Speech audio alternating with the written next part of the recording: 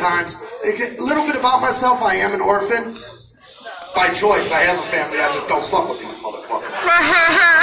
In my family, going to the SSI, going to the going, I can't read, I need a check, is a career move.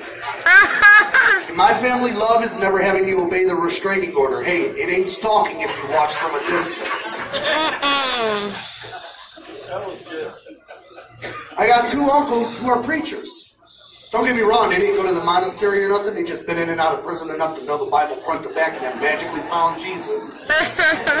now you can't tell these motherfuckers nothing. Every time you go to tell them something, they're like, well, my God said, look, Terry, your God had you sucking dick for crack last year. My God said your God's on that bullshit.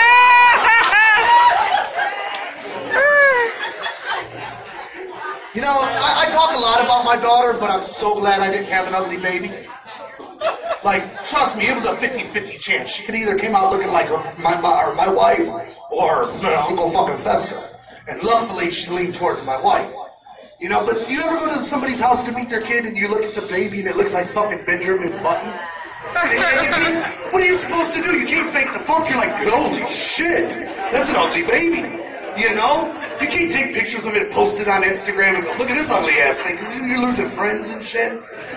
Like, my adopted sister actually has an ugly baby. And I don't mean he's ugly like ill. I mean he's ugly like it's, it's too big for his body.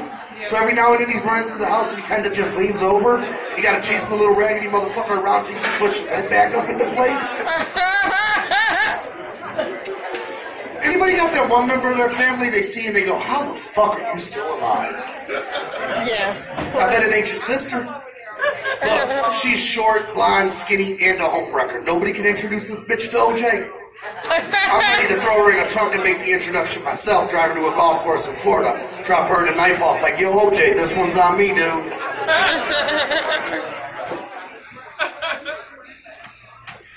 Can't even do it, man. I'm not allowed at the zoo anymore.